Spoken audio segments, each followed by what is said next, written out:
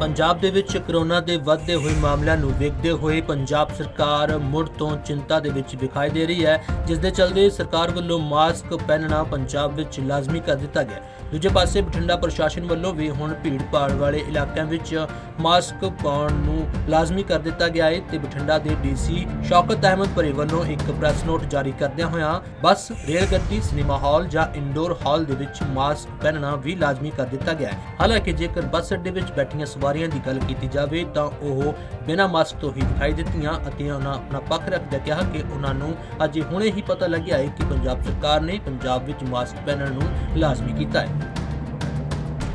ਵੀਰ ਜੀ, ਇਹਦੇ ਬਾਰੇ ਸਾਨੂੰ ਹਲੇ ਫੇਸਬੁੱਕ ਤੇ ਥੋੜੀ ਜਾਣਕਾਰੀ ਆਈ ਹੈ ਵੀ ਪੰਜਾਬ ਸਰਕਾਰ ਨੇ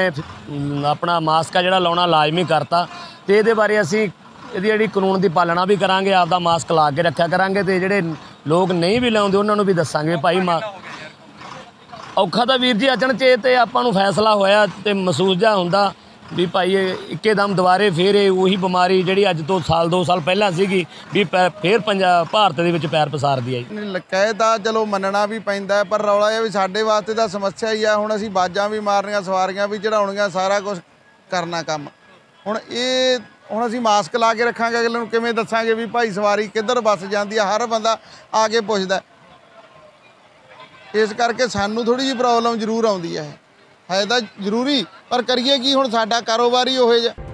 ਬਠਿੰਡਾ ਤੋਂ ਵੀਕੇ ਬਹਿਲ ਦੀ ਰਿਪੋਰਟ, ਜਗਬਾਣੀ ਟੀਵੀ।